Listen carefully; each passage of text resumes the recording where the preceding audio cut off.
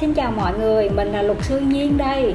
Thì à, à, trong video clip ngày hôm nay thì Nhiên sẽ xin giới thiệu với các bạn một cái chủ đề mới trong cái kênh youtube của mình. Đó là chúng ta sẽ cùng nhau mình học à, tiếng Anh qua cái à, bản tin của à, một cái báo tuổi trẻ, một cái tờ báo rất là nổi tiếng từ xưa tới nay. Thì à, thông qua cái bản tin này Nhiên sẽ cùng với các bạn cùng đọc qua cái bản tin và sau đó mình sẽ rút ra những cái từ vựng pháp lý để mình học. Ít thôi các bạn, chỉ có 4 cái năm từ thôi cho mỗi bản tin. Tuy nhiên, các bạn tin nhiên đi, mình sẽ cố gắng mình học như thế này, nó sẽ đỡ là nhàm.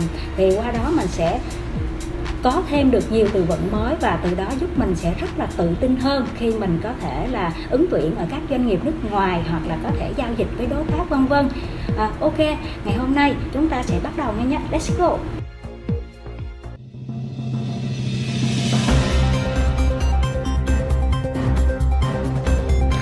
12-year-old girl allegedly tortured by mother, raped by later boyfriend in Hanoi. A Hanoi woman has been probed for torturing her daughter, while her boyfriend investigates for raping the younger.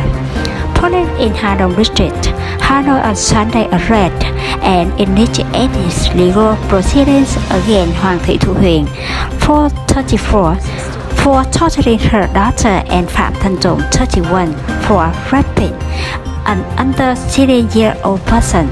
The arrests were revealed approved by the Hà Đông District People Procuracy. Dong was taken into custody for four months to facilitate the investigation, while he was released bail to be able to raise her young child. The woman has also indicted for illegal trade of narcotics in a separate case.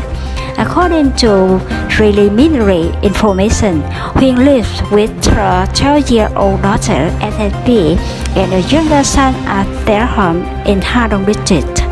Dung is Huy's boyfriend and has stayed at Huy's place in early 2020.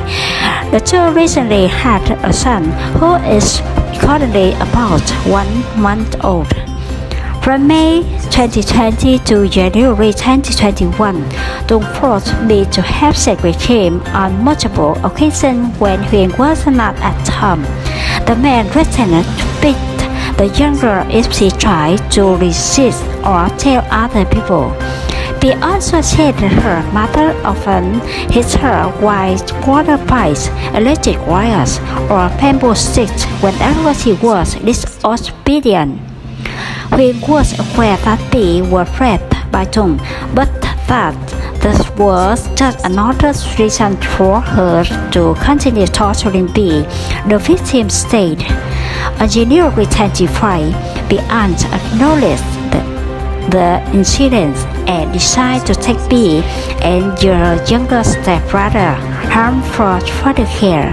The case was also reported to police officer. According to the aunt, who has had five children with five different men, she was only legally married to the fourth man.